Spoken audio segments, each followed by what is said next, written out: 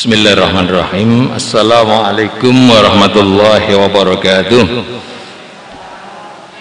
Innal hamdalillah salatu wassalamu ala Rasulillah wa ala alihi wa sahbihi wa man Bapak Ibu hadirin jamaah pengawasan Ahad Enjang yang begitu pun rahmati Allah khususnya Ustaz Abdullah Robani saya yang Wonogiri yang sampun uh, rawuh Lalu dan syukur kita kerjakan wonten pun Allah. Bila ngenjang menika alhamdulillah kita setuju ya sakit pun kembalakan Allah wonten ing papan kang mulya insyaallah wonten Masjid Besar Al ya, dalam rangka pengajian rutin Ahad pagi ya setiap Ahad pagi ya pukul 6.30 ya sampai 7.30 ya. Namung mungkin talibur rati mundur sekali ya, insya Allah biasanya pun ya, atas kajian rutin ya, mereka tetap kita tindakan ya, senatian kita perso khususipun dinten menika ya, khususipun eh, tanggal 3 ngantos tanggal pun ngumuaken pun kalian PPKM darurat ya, terus pembatasan eh, kegiatan masyarakat ya, berbasis mikro ya atau lingkungan darurat ya. lah mereka tentu pun kita mensikapi secara bijak ya, atas pengajian ya, tetap kita tindakan ya, dengan tetap menjaga protokol kesehatan ya Alhamdulillah ya setelah sampun mau masker ya, jaga jarak ya lan ugi ingkang bilih kesupen boten beto masker ya sampun dipun siapaken wonten ngajeng ya termasuk hand sanitizer ya, e, tempat cuci tangan ya dalam rangka kita laksanakan protokol kesehatan. Bapak Ibu yang kau hormati, ya, kaitan kalian masalah pandemi menikah pun menaik zaman Rasulullah sampun wonten, wabah pun wonten. Ya, dan Rasulullah sudah berurusan ketika ada wabah yang ya, sehingga menikah menawi ya, kita lajeng ya, pamanipun ya semua di rumah tapi ternyata juga ya sholatnya orang yang masjid tapi kegiatan yang lain ternyata tetap keluar. Ya, bisa jadi nanti tidak ke masjid bertahun-tahun. Ini pramila monggo. Jadi kita tetap laksanakan kegiatan kegiatan kemakmuran masjid ya, termasuk pengajian sholat berjamaah tetap dengan menjaga protokol kesehatan. Insyaallah sedaya kalau mau. Ya, mangke Allah ya, paring perlindungan datang kita sedaya ya. ini yang sepisan berkelaturakan ya, tetap menjaga protokol kesehatan tapi tetap juga kita memakmurkan masjid. Yang nomor kali kaitan kalian menikah berita berita saya berita saya terus kalau jam Jumat ya menikah saking takmir masjid atau pengurus masjid di kantor bantuan ya satu unit rumah e, kapling wonten samping menikah ya lalu menikah secara pun kan Penjenan sedaya ikut berpartisipasi membeli tanah kangge rencana rumah tahfidz di depan wonten ngajian menika pojokan nggih. lajeng menika sebagian dipun suwun kangge pelebaran jalan nggih. Jalan masuk ke perumahan sekitar ya 40 meter sekitar 40 meter diminta untuk pelebaran jalan. lajeng dipun gantos ya dijoli ya, tanah satu kapling kurang lebih ya 80 meter ya, dan ditambah bangunannya ya, ditambah bangunannya. Sampun dadas menika. Ya, kalau Jumat sampun dipun serahkan pun lah menika kangge fasilitas e, kelengkapan e, masjid. Saged kangge kantor saged kangge rumah singgah utawi naik kangge tempat transit. Ya mbok bilih wonten ustad ingkang saking tebih. Ya menika mangke saged transit wonten e, dalem ingkang sampun dipun siapaken ini pun dados kantor nambahi kantor nambahi napa? Kantor masang AC enggak dereng. Ini pun lengkap sedaya ya. Ini kan kaitan kalian eh, rumah satu unit. Ini eh, tanah untuk rumah tapek ngajeng ya, saben pertemuan dipun umumaken waktu menika tasih wonten sekitar 47 meter yang belum terbayar. Terus dari 350 itu tinggal 47 yang belum dibayar. Artinya penjaringan tasih wonten kesempatan ikut e, wakaf meteran. Ya per meter satu juta lima ratus. Namun sesuai dengan kemampuan tidak harus satu meter. Berapapun akan diterima oleh e, pengurus ya untuk selalu ada apa namanya istilahnya ada pemasukan atau ada cicilan ya sehingga nanti segera lunas dan bisa segera di prospek untuk pembangunan gedung rumah tauhid insyaallah ngaten kang salah singgung yang bukasan Bapak Ibu. Ya Uh, unika mangke tausiah pengawasan badhe punaturaken Ustaz Abdullah Robani saking Wonogiri. Monggo mangke saged kita midhangetaken.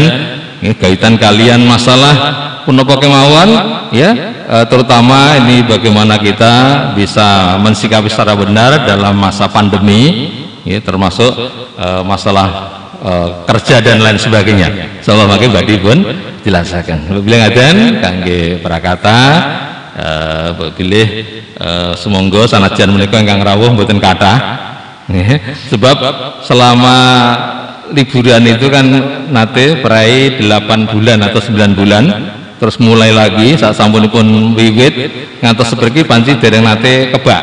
dereng nate kebak. Ya sekaligus ini untuk menjaga uh, jaga jarak ya.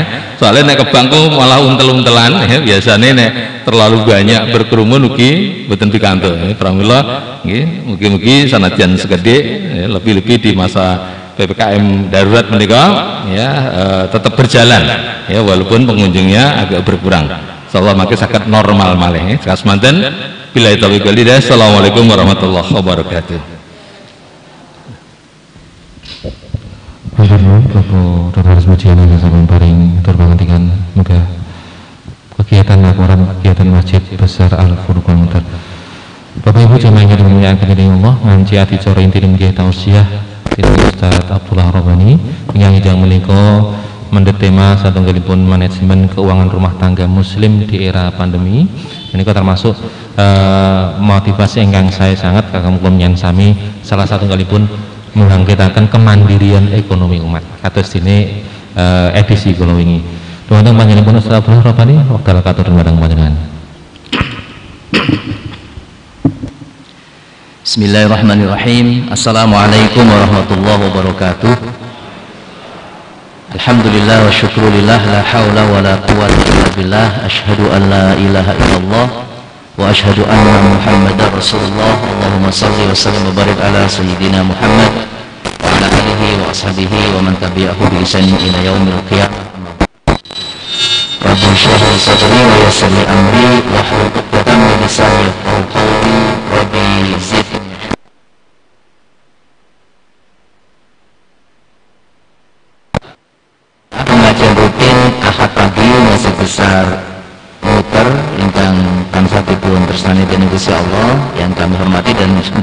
selalu dimuliakan Allah.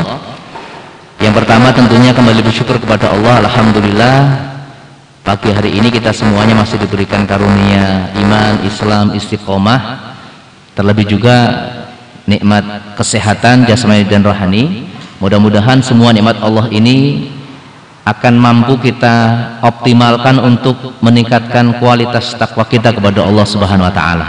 Allahumma amin. Karena kelak di yaumul qiyamah semua nikmat ini pasti akan ditanyakan oleh Allah Subhanahu wa taala.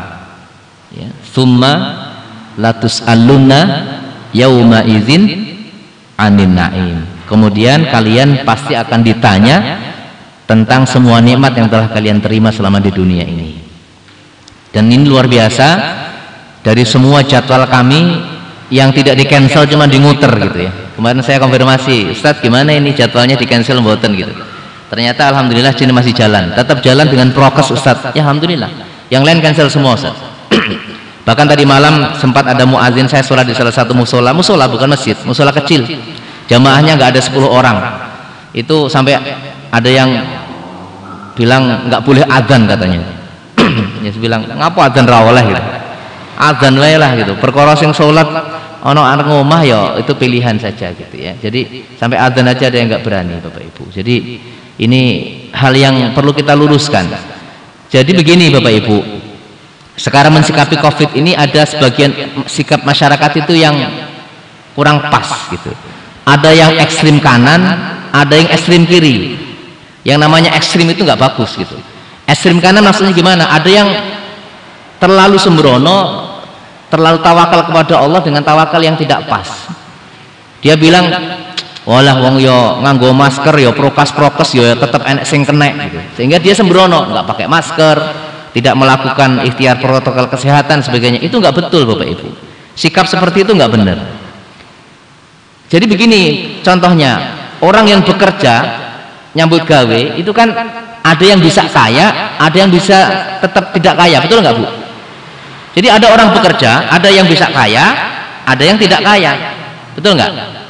Tapi apakah kemudian ketika melihat enek sing nyambut gawe ada yang kerja tidak kaya, kemudian kita bilang wong kerja yang nggak kaya aja, mendingan nggak usah kerja, gitu nggak? Enggak kan? Enggak. Jadi bekerja itu ibadah, kaya atau tidak itu urusannya Allah Subhanahu wa taala betul nggak Pak sama dengan kita ini memang sudah ada yang vaksin tetap ada yang kena sudah ada yang pakai prokes tetap ada yang kena. Tapi itu bukan kemudian kita kemudian Allah hasne ono rasa nganggo lah yo tetap kena. Enggak boleh begitu.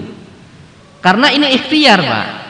Kita menjaga prokes itu ibadah ikhtiar kita gitu. Perkara nanti takdirnya itu ya ya Allah gitu.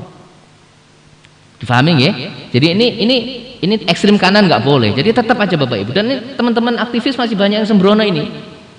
Masih banyak yang sembrono gitu. Banyak yang nggak mau pakai masker gitu ada yang nggak mau apa namanya menerapkan protokol kesehatan itu ekstrim itu nggak boleh. Yang kedua ada yang ekstrim kiri terlalu menuhankan prokes. Wus pokoknya prokes segala-galanya gitu. Terus akhirnya melupakan Allah subhanahu wa ta'ala gitu. Rumah sana ini prokesnya jaminan terus akhirnya malah ibadah ya ora. Sholat ora gitu ya. Pengajian ora gitu. Neng piknik terus gitu ini kan nggak bener. Ini juga ekstrim pak. Jadi kita ambil pendapat yang tengah-tengah. Artinya apa? Tetap jaga prokes tapi tetap harus dekat dengan Allah gitu. Karena segala sesuatu ini dari dari Allah gitu. Termasuk virus corona ini kan tentaranya Allah. Tentaranya Allah. Jadi tugas kita adalah berikhtiar dengan sebaik-baiknya melakukan protokol kesehatan. Yang kedua adalah banyak-banyak taubat pada Allah, banyak-banyak mendekat kepada Allah, banyak-banyak doa kepada Allah agar kita diberikan yang terbaik. Itu yang paling pas, Pak. Selebihnya ya sudah. La haula wala quwata illa billah. Kalau kita sudah ikhtiar dengan baik, sudah berdoa dengan baik, banyak taubat pada Allah, Qadarullah kok aja anak sing kena itu insya Allah pahalanya besar. Sampai bisa mati syahid Pak nilainya. Itu orang-orang yang meninggal karena wabah. Siapa mereka? Ya orang yang sudah berikhtiar dengan maksimal, sudah banyak berdoa kepada Allah, kok ijek kena? Insya Allah syahid itu. Insya Allah termasuk golongan yang mati syahid karena wabah. Neng nek prokes we ora, ikhtiar ora, kena kok njut ngeklaim aku syahid gitu. Wallah alam. Kayaknya kayaknya saya kurang kurang yakin kalau itu. Allah alam bisa Ngaten nggih Bapak Ibu. Terima kasih. Jadi jangan kendor, tetap jaga jaga tiga. Jaga iman. Imannya tetap dijaga dalam semua kondisi. Apalagi kondisi begini, bendina nek sing mati. Sok sedina luwe siji nggih Bu. Jadi sekarang kematian itu gampang banget, makanya jaga iman Bapak Ibu. Jaga iman. Yang kedua jaga imun. Staminanya dijaga Stamina itu bukan ya makan cukup, olahraga cukup, berjemur cukup, minum air putih cukup. Tapi mau, kalau mau imunnya bagus bu, kemarin sudah ikut grup saya udah tak share ada 10 dokter terbaik dunia itu. Pertama apa? Pertama dokter terbaik dunia itu sinar matahari. Jadi kalau nyel sami niki dadi wong sing kena panas ngono lho nek. Ampun nek bar subuh turu meneh gitu. Jadi tugas kita itu menjaga diri bukan kemudian mengurung diri selama-lamanya pagi berjemur apalagi yang dimuter ini masih suasananya bagus ya. Matur ngomah ya besek-besek yang kebon apa-apa gitu kan kena sinar matahari. Yang kedua banyak minum air putih Bapak Ibu. Air putih air mineral. Air air yang air air, air putih itu gitu. Usahakan sekarang ini menghindari es-es gitu yang yang dingin-dingin. Menghindari yang minuman minuman ber apa namanya e, menggunakan perasa pemarna itu kalau bisa dikurangi lah kalau bisa nggak usah. Pokoknya minuman terbaik itu ya susu madu air putih. Tiga itu pilihannya. Nek susu madu kan ya sesekali gitu. Nek terus-terusan ya sok-sok ya anggarannya kurang gitu. Air putih kan insya Allah murah. Kita bisa ngerebus sendiri atau bisa beli yang bagus. Sinar matahari air putih. Yang ketiga pak jalan kaki pak. Jalan kaki. Idealnya manusia itu kalau pengen sehat sehari semalam itu 10 ribu langkah. Idealnya. Saat ini ya pulau termasuk kena nih, manja banget gitu. Masjid seket meter sepeda motor kok. kiai ini ya nek sing teko Pak Takmir tau. Padahal idealnya jalan kaki, Pak. Lebih baik jalan kaki. Kanjeng Nabi suka jalan kaki. Ya. Sinar matahari, air putih, jalan kaki, yang keempat apa? Yang keempat itu udara yang bersih. Nah, udara yang bersih. Jadi cari udara-udara yang tidak kena polusi. Yang kelima, makanan yang seimbang. Nanti makan cukup, ya olahraga cukup, jangan terlalu terforsir. Gue ya boleh, ini ngojo ngoyo gitu. Tujuannya kita tidak ingin ngoyonya, tapi sehat. Golek keringet sehat itu. Istirahat yang cukup, jangan melek wengi-wengi banget. Itu. Jadi nek bisa sunahnya habis nisa tidur. Dah. Bar subuh jangan tidur. Yang berikutnya apa? Yang berikutnya adalah tilawatul Quran. Orang kalau baca Quran tenang hatinya. Kalau hatinya tenang, ya, pikiran tenang, hidup tenang. Dan hindarkan berita-berita yang bikin kita ini jadi gelisah. Makanya Bapak Ibu kalau ikut grup nggak usah sar-sar-sar-sar masalah covid-covid lah. Itu urusannya yang sudah ini. Gara-gara nge-share itu ada orang ada orang yang ketakutan loh Pak. Kita mungkin nggak takut bacanya, tapi orang lain bisa takut. Dan kalau udah takut, apa kata Ibnu Ibnu Sina? Ya. Ketakutan itu alwahmu ya nisbuda. Ketakutan itu separuh penyakit. Ya. Wal itmi'nanu nisbudawa. Dan ketenangan hati itu separuh dari penyembuhan, separuh dari obat. Mohon maaf, separuh dari obat. Alwahmu nisbuda ya ketakutan kegelisahan kebingungan itu separuh penyakit jadi wong niku nek wedi gelisah takut selorosik niku jane lah bapaknya kanca kula niku jane sehat begitu sesok vaksin Pak D langsung berdek itu tensinya langsung 200 gitu ya biaya sini selogiri sini akhirnya kemarin cari helper ke tempat saya itu ya karena ketakutan kan malah jadi loro itu kudune rasa wedi gitu jadi wal itmi'nanu nisfudawa dan ketenangan itu separuh dari obat. Wasabru ya bidayatul ya apa itu? Bidayatul najah atau bidayatul bidayatul syifa. Wasabru bidayatul syifa dan kesabaran itu awal dari kesembuhan, awal dari ya wisat walafiat. Begitu Bapak Ibu nggih. Dan seterusnya, enggak usah saya teruskan. Yang terakhir kalau beberapa lagi madu dan habatus sauda.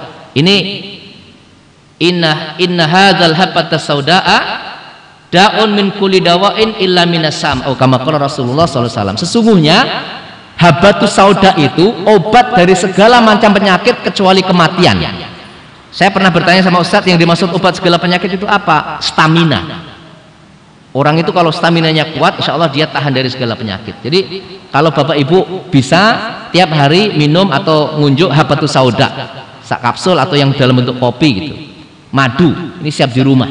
Jadi sekarang ini udahlah pokoknya hidup yang sehat kurangi makanan-makanan kimia kurangi hidup yang tidak benar insya Allah kita akan sehat dengan izin Allah subhanahu wa ta'ala. Amin nah tapi perlu diingat bapak ibu sehat itu ada tiga satu sehat fisik yang disebut imun ini insya Allah jenengan sudah paham tanya kepada orang ahlinya Salah satunya tadi dijaga hatinya biar tenang tidak takut ya Pak ya, makan cukup, olahraga cukup, istirahat cukup dan sebagainya tadi.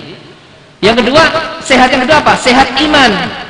Yang ketiga, yang kan kita bahas ini, sehat finansial, sehat keuangan. Karena kalau ada orang fisiknya sehat, ya Pak ya, imannya sehat, ning dompetnya loro. Gimana rasanya Pak? nggak? Enak. Jadi mangan apa-apa itu ya oleh. Itu ya iso. Anu oleh mangan apa-apa. Oleh nek larangan yang arep tuku ora iso. Gitu. Kan rekoso ini Pak.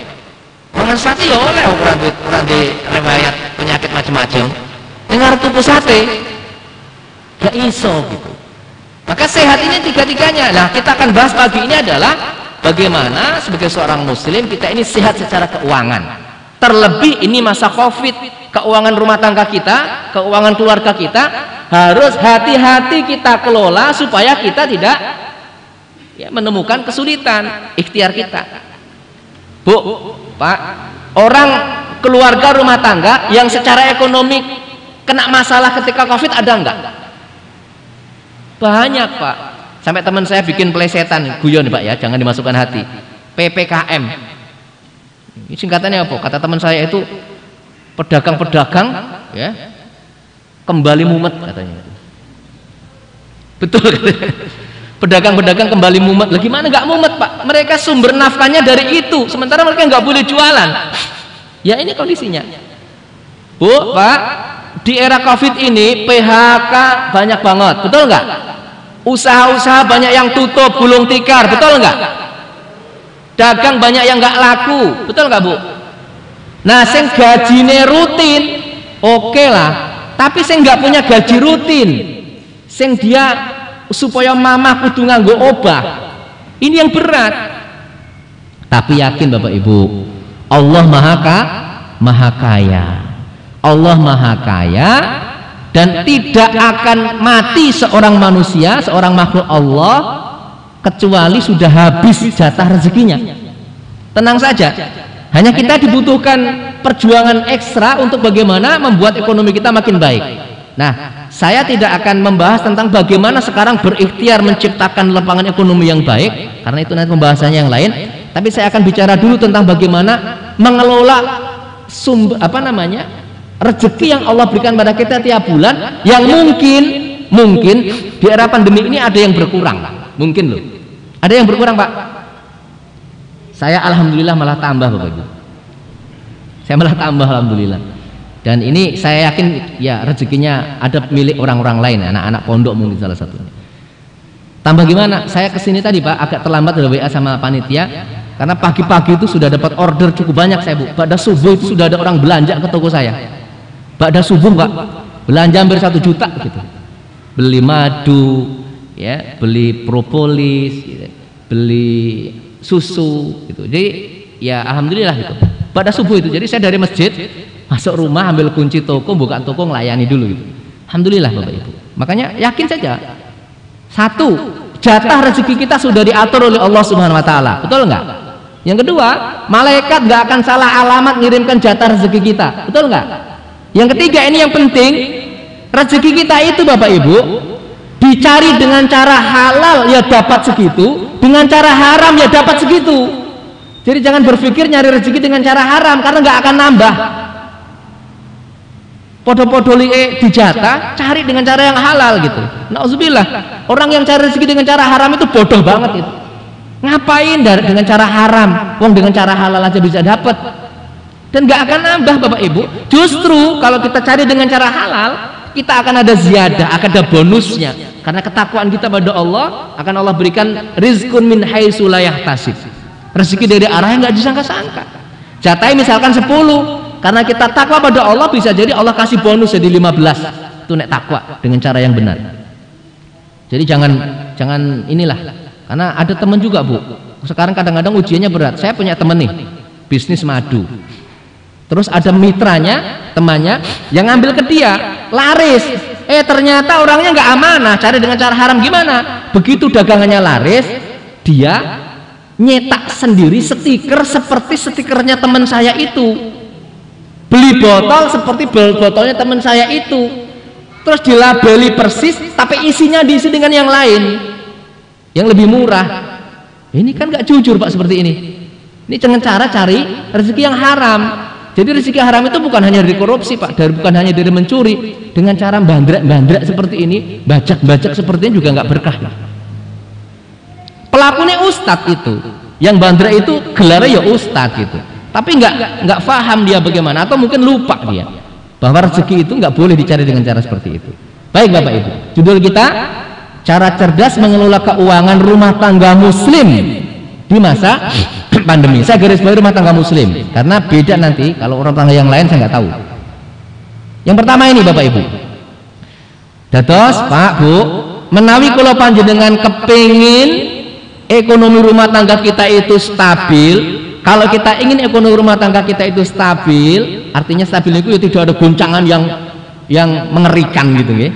Yang pertama harus kita pahamkan pada seluruh anggota keluarga, wabil khusus ek, e, menteri ekonomi rumah tangganya, ibu yang tukang beli-beli, tukang belanja-belanja, itu harus memiliki sifat yang namanya smart atau cerdas.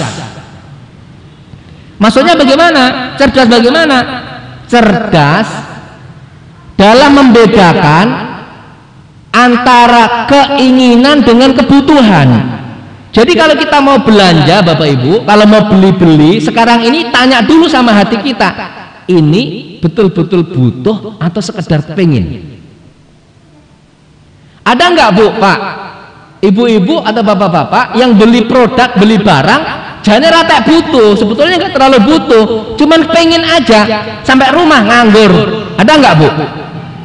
Ada. Mohon maaf Bu ya. Ini ibu-ibu arisan. PKK, tugas sawisma. Sekarang alhamdulillah nggak ada ya, ditutup sementara karena pandemi. Ada sales menawarkan apa Bu? Panci, teflon, terus oh wah promosinya menarik banget bahkan dengan embel-embel niki sakit dipeng kok bu ini bisa di kredit teflonnya 12 kali boleh pancinya 18 kali boleh kompornya 24 kali boleh wah kepengen pak akhirnya beli kredit teflon di rumah itu ada teflon nggak pernah dipakai ada yang begitu Nah itu namanya nggak cerdas. Membeli sesuatu bukan karena kebutuhan, tapi sekedar keinginan. Apalagi dikompori koncone. Lah iki karo duit awal men mosok ora tuku kabeh melu tuku lah anggota arisan. Wes akhirnya melu katut tuku. Gitu. Kenapa ini penting Bapak Ibu? Sebagai seorang muslim, Allah itu ngasih wanti-wanti sama kita. Jangan sampai kita ini masuk ke dalam area wilayah yang disebut dengan tabzir, mubazir. Sesuatu yang tidak ada manfaatnya. Allah mengatakan auzubillahi minasyaitonirrajim ya. Innal mubazirina kanu ikhwana asyayatin. Sesungguhnya hal-hal yang mubazir, tabzir, boros, nggak nggak nggak sesuai dengan kebutuhan berlebihan itu menjadi kawan-kawannya setan gitu. Bahkan Allah mengatakan khudzu zinatakum inda kulli masjidin wa kulu washrabu wa la tusrifu innallaha la yuhibbul musrifin atau kama qala Allah Subhanahu wa taala Pakailah pakaianmu yang terbaik ketika kalian hendak ke masjid, makanlah, minumlah, tapi jangan berlebih lebihan. Karena Allah tidak suka orang yang berlebih lebihan ini penting bu. Terus mungkin? Jadi semuanya. Kalau mau beli apa-apa kalau memang itu barang yang dibutuhkan mahal lah ya bismillah wong jenenge butuh gitu loh. Tapi walaupun murah meriah ada bonus dan ada diskon kalau kita nggak butuh nggak perlu Bapak Ibu. Nggak usah. Nanti akan jadi barang mubazir. Wong di rumah sudah ada TV 12 in 14 in 20 in. Ngapain diganti yang 48 in? Padahal TV-nya yang di rumah sudah masih masih bagus. Hanya karena mungkin promosi yang menarik. Sudah punya kulkas dua pintu ngapain ganti yang 8 pintu? Nggak ada ya. Jadi ini penting bu nek gur nuruti pengen pak kalau hanya nuruti keinginan kira-kira kita ingin banyak hal nggak pak Bapak-bapak pengen pengen ganti mobil baru nggak pak? Pengen. Pengen ganti motor baru nggak? Pengen punya rumah baru nggak? Pengen punya istri baru? Enggak, enggak. pengen tapi nggak berani ngomong. Nah artinya apa? Kalau ditanya pengen, semuanya pengen pak. Pengen mobilnya ganti yang lebih bagus, motornya ganti lebih bagus, semua yang dimiliki ganti yang lebih bagus. Tapi kan kemampuan kadang-kadang tidak sesuai dengan keinginan betul nggak pak? Makanya apa yang sudah ada ya disyukuri. Selama itu masih baik masih bisa digunakan Bismillah. Nggak perlu memaksakan diri. Nggak perlu memaksakan diri kata ibu ini karena kalau memaksakan diri wah habis uang kita nanti. Habis pak. Hanya untuk keinginan bukan untuk kebutuhan. Itu bahaya banget. Bahaya banget. Nah karena keinginan itu kan hawa nafsu sumbernya. Sementara nafsu itu secara umum mengajak kepada keburukan. Inna nafsa la amaratum bisu illa ma sesungguhnya nafsu itu cenderungnya mengajak kepada yang buruk-buruk. Boros. Ya kemudian ya begitulah. Jadi ini ya catat pertama. Kalau mau beli apa pun kendaraan perhiasan peralatan perlu apa gur pengen? Nek pengen ditunda dulu. Kalau sekedar pingin tapi ini betul-betul perlu ya bismillah. Ini penting tapi banyak diremehkan. Yang kedua apa? Tracking. Ini istilah tracking terkenal sekarang ya. Tracking itu misalkan Alhamdulillah ada warga di satu tempat diindikasi positif maka kemudian pihak uh, dinas kesehatan terkait akan melakukan tracking. Melacak dia kontaknya sebelumnya dengan siapa? Itu tadi itu namanya tracking. Tracking itu melacak. Nah dalam keuangan kita juga ada istilah tracking. Maksudnya bagaimana? Kita harus ngerti uang kita itu keluarnya ke mana saja supaya kita bisa kontrol oh ternyata ada yang terlalu boros di sini ada yang terlalu besar di sini gitu dengan cara apa? di tracking. Trackingnya gimana? dicatat. Ibu-ibu bapak-bapak. Siapa?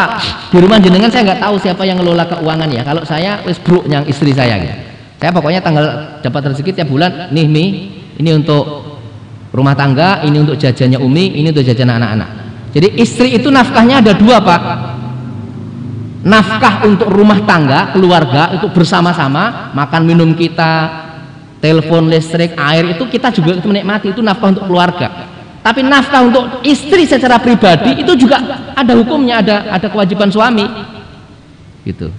Jadi ya istri itu juga butuh untuk perawatan butuh untuk senang-senang butuh jajan gitu loh pak. Halo? Ibu ada yang sudah dikasih begitu? Iya. Jangan kebalik malah. Bu gandeng wis digaji rumah tangga kue ya? Oh mah nggak boleh sekaya apa pun istri pak semiskin apa pun suami suami tetap wajib menafkahi istri. Ini penting catat nih. Jadi bapak-bapak yang punya istri istrinya punya penghasilan besar jangan kemudian lepas tangan. Dosa pak. Nafkah rumah tetap kewajiban suami. Bahkan nafkah istri pribadi kewajiban suami. Walaupun istrinya sangat kaya raya. Ngerti nggih? Senang ibu jadi nanti bapak-bapak kita doakan rezekinya lancar tiap bulan ya bisa ngasih nafkah keluarga cukup dan ngasih uang jajan yang cukup untuk istrinya. Allahumma amin. Biar perawatan, biar cantik itu. Karena kadang-kadang bapak-bapak itu pengen istrinya juga cantik ya pak ya. Ya kalau pengen istri cantik itu ya dirawat pak. Dirawat. Caranya apa? Yusnyami tak terkenyang perawatan skincare gitu. Jangan kemudian nuntut istrinya cantik, tapi begitu diajak ke perawatan, bilangnya aku mencintaimu apa adanya. Mupus. Mohon maaf. Baik. Jadi begitu dicatat bu. Begitu ibu dapat rezeki dari Allah melalui suami ini bu wis bu caramu cakno wis bapak mampu nih semene. Alhamdulillah terima kasih pak. Mudah-mudahan jadi rezeki yang berkah. Ridho dengan pemberian suami. Ya berapapun kemampuan suami. Yang penting suaminya memang memang sudah berikhtiar dengan baik dan tidak pelit. Hati-hati suami yang pelit uangnya boleh diambil istri tanpa izin. Jadi seorang istri boleh mengambil uangnya suami kalau memang suaminya pelit padahal mampu. Contoh misalkan suaminya gajinya 10 juta misalkan. Aslinya dia mampu memberi istri itu 5 juta tapi cuma ngasih satu setengah juta. Nggak cukup untuk hidup satu bulan. Padahal itu untuk makan listrik air dan macam-macam. Maka minta baik-baik dulu minta anggaran tambahan pak ya ini seminggu buatan cekap ya listrik men tolong atus banyu rong atus ini ini ini ini ini paling buatan ya tiga setengah sampai empat juta ya. Surah semuanya cukup-cukup no padahal dia punya pelit nih. Baru boleh diambil. Engkau dikumbai kabeh mawon kelambine Ning sakniki ra didelek ngon kelambi nggih Pak ya. Delek ngon ATM.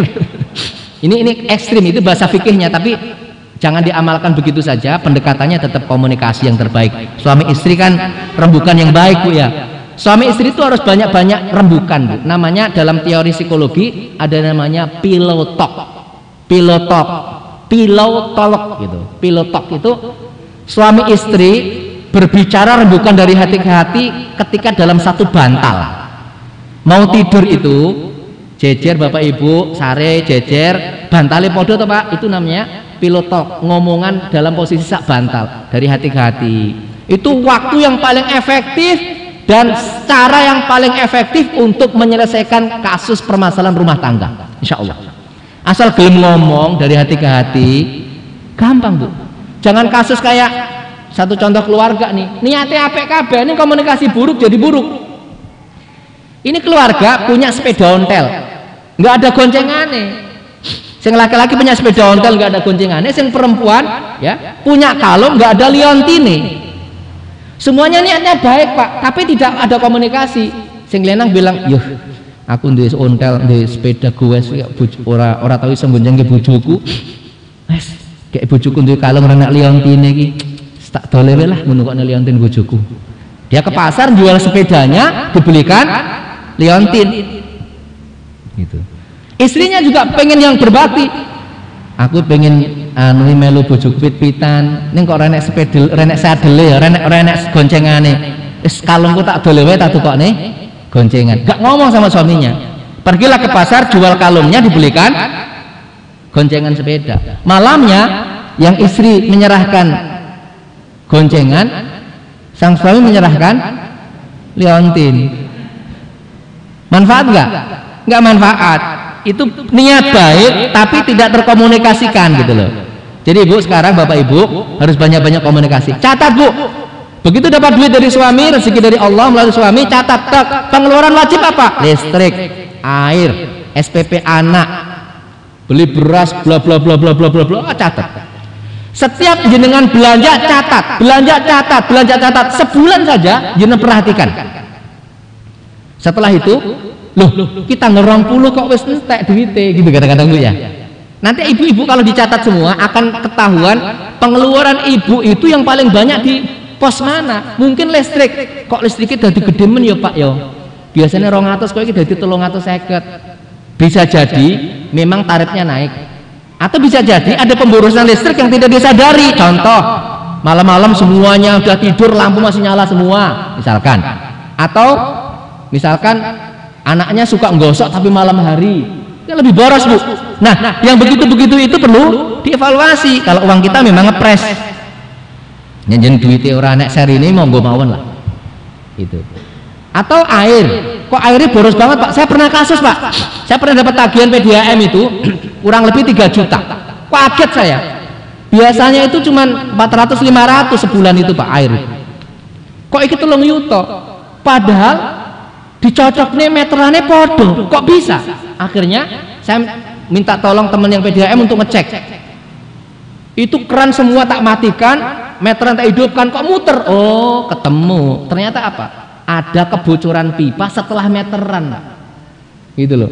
Jadi di Patenono itu bocor pak. Di bawah tanah. Jadi bocor nggak ketahuan. Diduduk. Betul. Artinya memang itu bukan kesalahan siapa-siapa gitu akhirnya ya sudah karena ini sudah sudah menjadi pengeluaran tidak bayar. Terus saya minta dibantu ini pipanya diangkat ke atas tanah supaya lebih kelihatan kalau ada persoalan. Alhamdulillah sekarang kembali lagi normal pak. Ini satu contoh begitu. Kalau nggak dikontrol kan kita nggak tahu pak di mana ada kebocoran atau ada pelanggaran yang ini. Jadi begitu bu ya.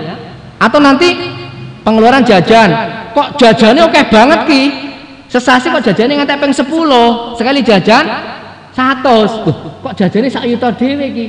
Berarti ini pos yang harus dikurangi bulan depan ini. Jajannya dikurangi misalkan. Jadi pencatatan itu penting Bapak Ibu. Penting banget. Penting banget. Kalau nggak dicatat jenengan nggak akan tahu.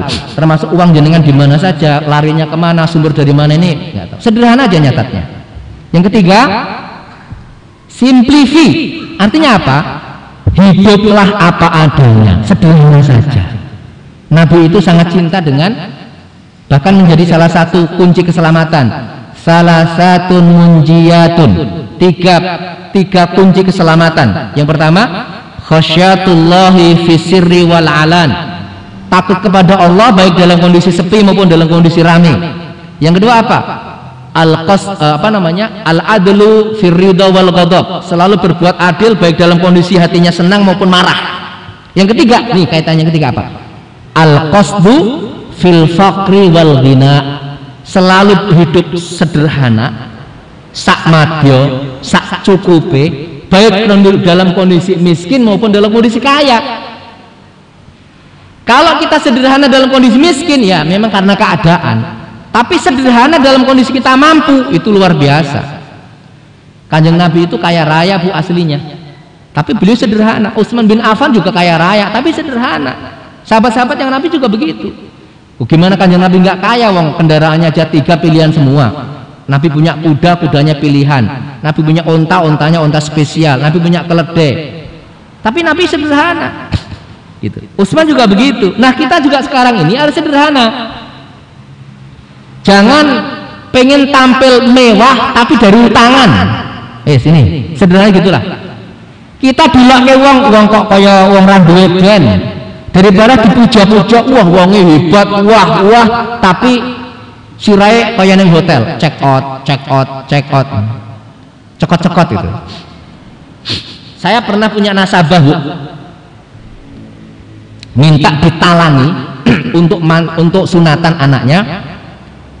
Waktu itu agak gede karena memang dia mau wayangan gitu. Talangan untuk pembelian ya untuk pembelian apa namanya yang mau dimasak yang mau dari sapi dari macam-macam mau disembelih untuk wayangan sunatan anaknya itu. Saya udah nyarankan mas sederhana aja. Ya semampunya jangan masak. Oh saya mampu tat. Nanti habis ini jagan saya ini ini ini. Ternyata nggak tahu entah siapa yang ngompori pak. Ini pestanya gedenya luar biasa. Jadi empat hari kalau nggak salah pestanya itu. Anggarannya untuk sunatan itu habisnya berapa? 450 juta. Sunatan itu teratak, sewa wayang, sewa sampur sari, ya macam-macam macam-macam gitu.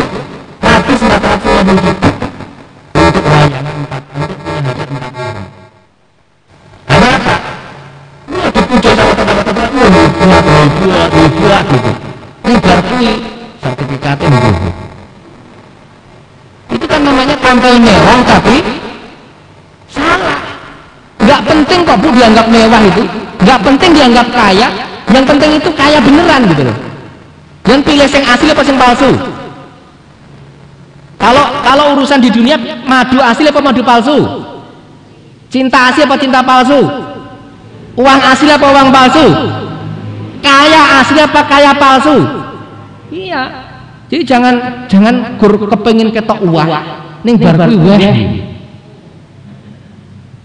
apa adanya saja lah bu. Ya nek nih kita baru motor ya motor. Nggak perlu maksa-maksain kredit mobil yang nanti bikin boyoknya jadi semplok. Mampunya apalah nggak perlu mewah-mewah ya. Hindari kemewahan semu. Ini saran saya pokoknya ya iso ini tuku-tuku sing cash. Ira iso cash ngampet sak duwene si opo. Iya, budaya hutang itu nggak baik, Pak.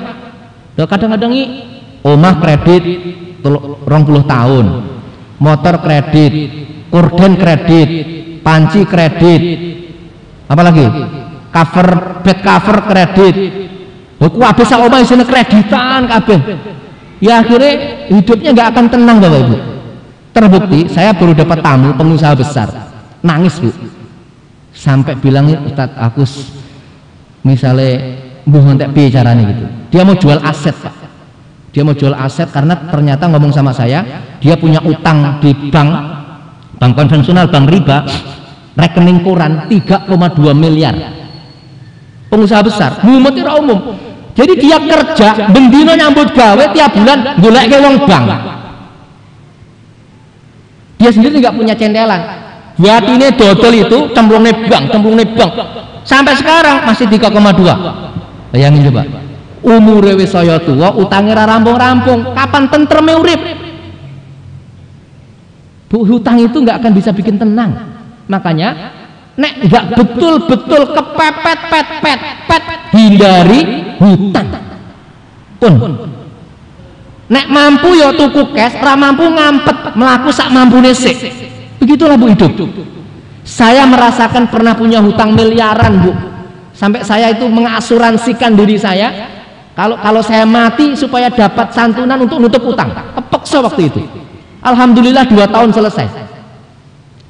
Dan saya sekarang merasakan betapa nikmatnya hidup nggak punya hutang. Tenang pak, tenang betul.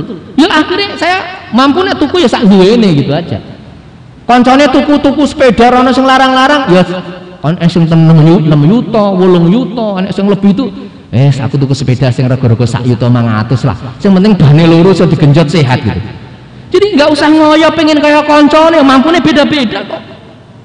Jadi kalau ukuran orang kan beda-beda. Kalau balungnya gajah, ini balungnya emprit, ya disamakan ya ceklek no Pak. Gitu. Jadi jangan sampai kita ini memaksa-maksakan diri. Kalau beli sesuatu, pertimbangannya fungsinya, jangan gengsinya.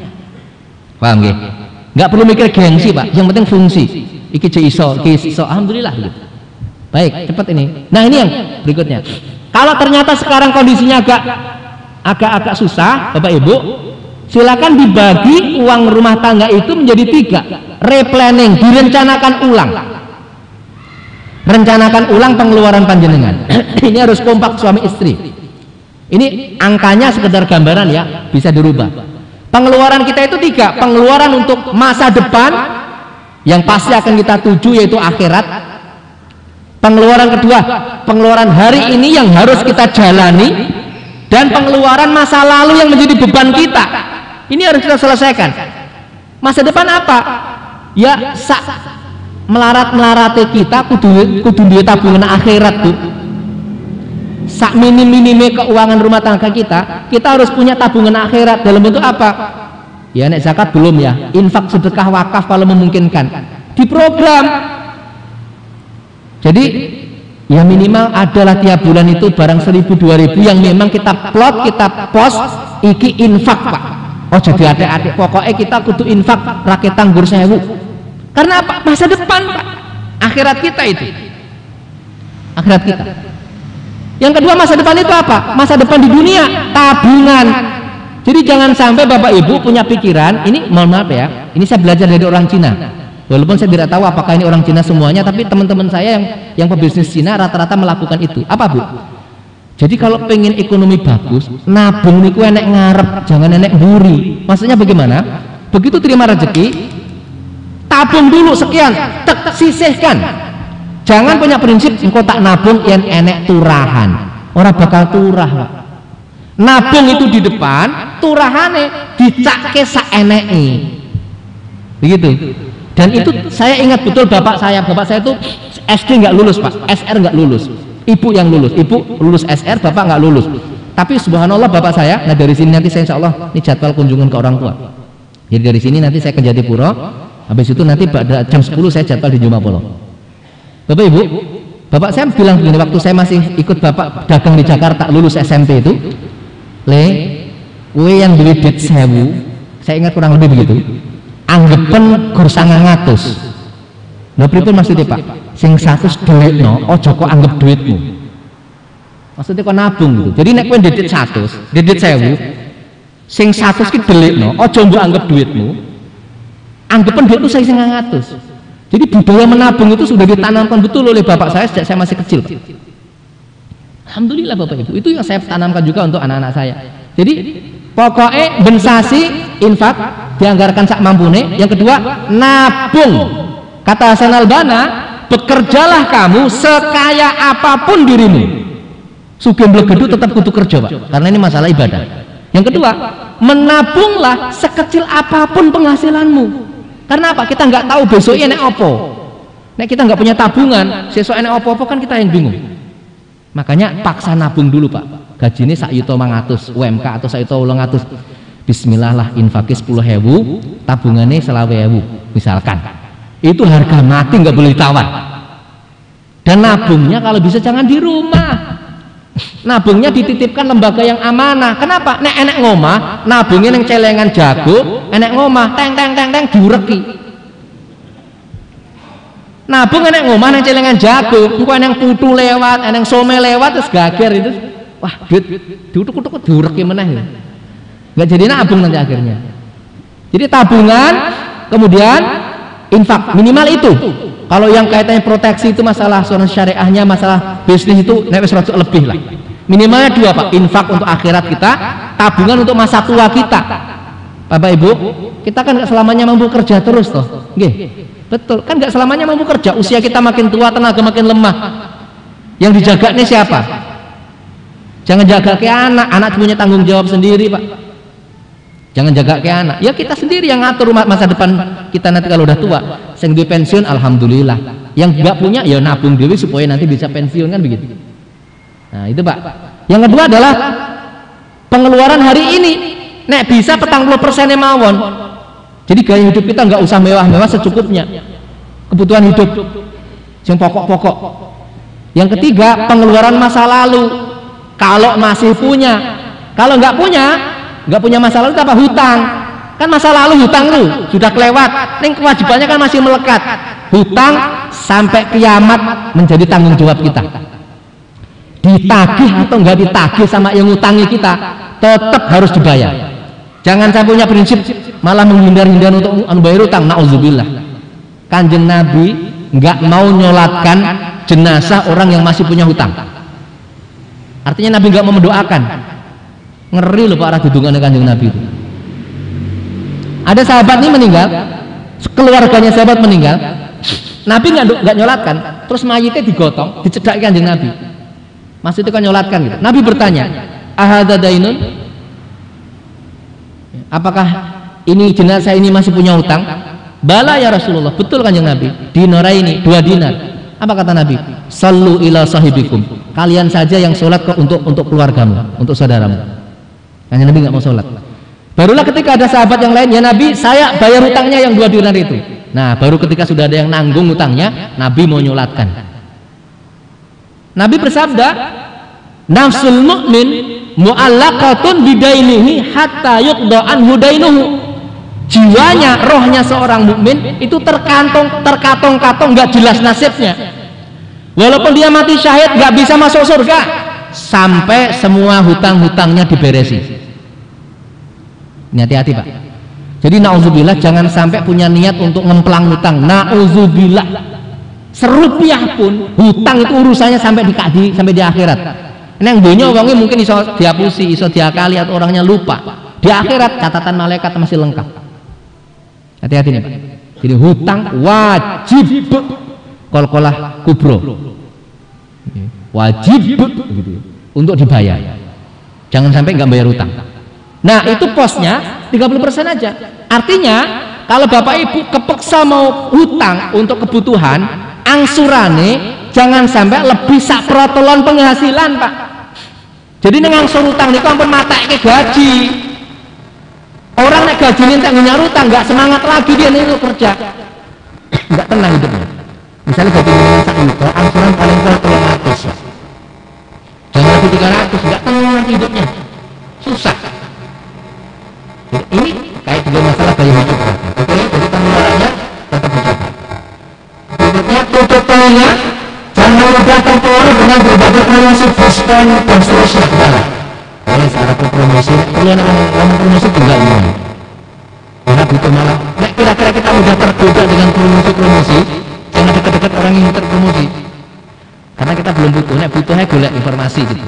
Ini penting pak. Karena banyak yang kadang-kadang jadi butuh yang terprovokasi malu tuh akhirnya teman saya dulu Jangan jadul Pak sebelum era sebelum era Android. Itu orangnya gaptek. Orang tak paham teknologi, ini gaya hidupnya tinggi banget. Ya, sampai akhirnya suatu ketika beli HP itu mahal banget untuk ukuran waktu itu.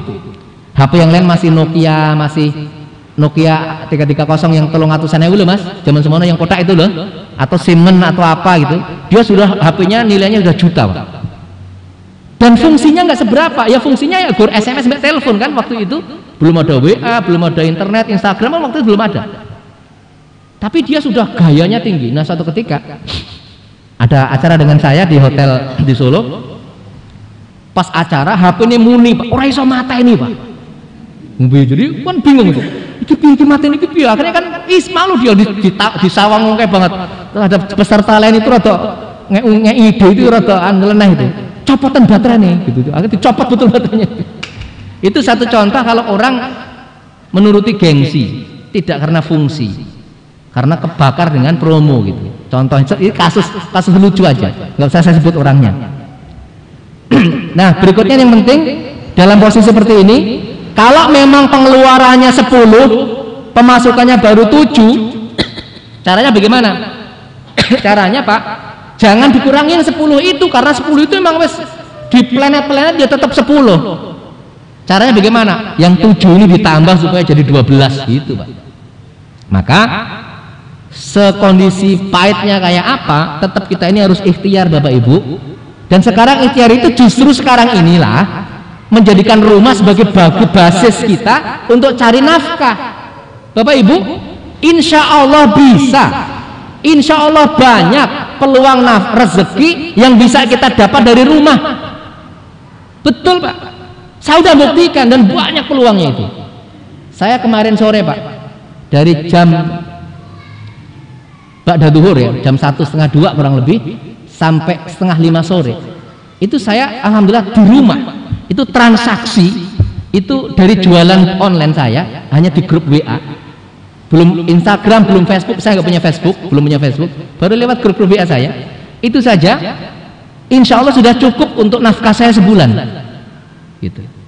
Yang penting apa? Yang penting kita ini kreatif semangat optimis gitu pak. Teman saya itu sekarang ada yang jadi kaya jualan apa bu? Jualan brownies tiwul pak.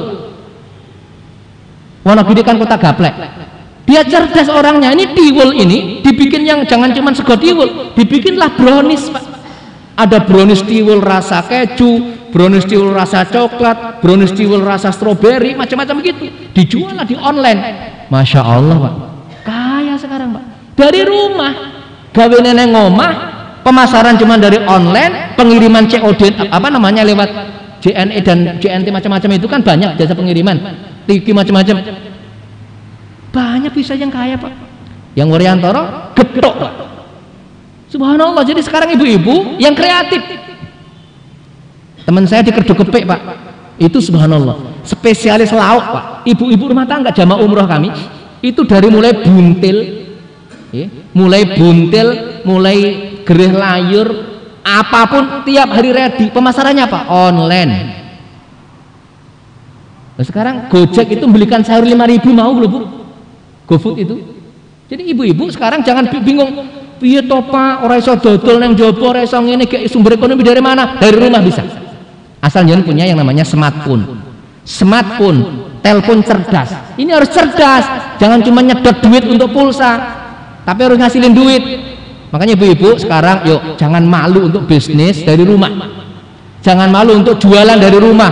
Wes lah dilok uang uang kok dodol terserah ngaku ora njaluk duit gue gitu bismillah. Ciptakan sumber-sumber sumur segi yang lain. Ibu punya apa? Pitik dipoto. Didol lewat Facebook. Gitu. Neng pitik dhewe lho mun pitik wong lho ya. Wong moto pitik wong. Apa pun sekarang bisa dijual. Dan ingat Ibu-ibu, semakin ke depan itu orang akan semakin malas bertransaksi secara head to head, face to face. Kenapa? Ini nggak bisa dilawan Pak sekarang. Berat bukan nggak bisa. Berat sekali kita ngelawan. Ke depan itu semuanya akan pindah ke online Dah, makanya yang sekarang ibu-ibu pengen maju harus belajar online untuk hal positif. Iya pak. Sekarang online. Anaknya teman saya beli tali sepatu sepuluh ribu online pak. Tali sepatu loh. Itu aja online. Getok online, sayur online. Makanya manfaatkan yang online. Oke. Cara saya itu Bapak Ibu mulai sekarang. Jadi jangan kita menyerah dengan keadaan. Allah memberikan sesuatu ini pasti ada hikmahnya betul nggak Pak pandemi ini ya dari Allah kita nggak boleh menyerah gitu tugas kita apa ikhtiar sebaik-baiknya selebihnya tawakal kepada Allah Subhanahu wa taala. Maka Ibu monggo ditata ekonominya, nggih. Kita semuanya berdoa kepada Allah dalam situasi apa pun terutama di pandemi ini, mudah-mudahan rezeki kita semakin ditambah oleh Allah Subhanahu wa taala. Nggih. Dengan cara apa? Ya semangat Pak. Golek rezekinya, dan ini bapak-bapak ada motivasi yang luar biasa. Dua riwayat sebagai penutup. Suatu hari ada seorang sahabat Nabi yang tidak sebutkan namanya. Itu salaman dengan Nabi. Nabi kaget karena tangannya kasar banget. Apa ini? Katanya. Nah orang itu dengan perasaan malu bilang sama Nabi ya Rasulullah saya itu pekerja keras mecah batu mecah kayu untuk nafkahi keluarga saya jadi buruh pak buruh mecahi watu, buruh mecahi kayu sampai tangannya ngapal-ngapal itu kasar. Salaman karo Nabi, Nabi kaget saking kasari. Begitu dia ngomong gitu apa kata Nabi? Inilah tangan yang tidak akan tersentuh api neraka selama-lamanya. Masya Allah. Jadi bapak-bapak jangan malu pak untuk kerja keras.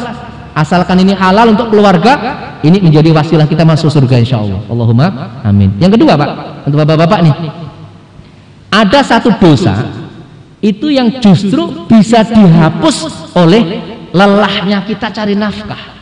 Jadi kalau kita cari nafkah yang halal, wus ngantek piye carane kesel tidur tidurnya kita ini Pak insya Allah bisa menebus dosa Masya Allah lagi maka teman-teman semangat yuk semangat yuk yang laki-laki semangat betul ini. Saya semangat Pak. Jenengan juga semangat. Ya jadi jangan dikira cari duit itu hanya sekedar cari duit. Niatkan untuk menafkahi keluarga agar keluarga kita tidak makan kecuali yang halal dan tayyib. Semuanya dinilai ibadah. Lelahnya kita ibadah rezeki kita ibadah. Bahkan kita nyuapin anak istri kita dari rezeki halal itu nilainya juga ibadah. Semangat pak ya? Bismillah. Ibu-ibu yang hati-hati juga. Kondisi seperti ini jangan boros amalkan tadi pokoknya tuku-tuku yang penting-penting tok sing penting sementara mungkin bedak dan lain-lain ya rotok kan jarang keluar tuh pak? Jadi bedaknya berarti rotok hemat ya. Bedaknya rotok hemat macak-macaknya agak berkurang. Harusnya malah lebih ini di rumah kan ada suami gitu. Semoga manfaat Bapak Ibu sekedar berbagi saja dan Alhamdulillah Insya Allah kalau kita melaksanakan ini mudah-mudahan Allah berikan kita kemampuan untuk mengelola keuangan tangga dengan baik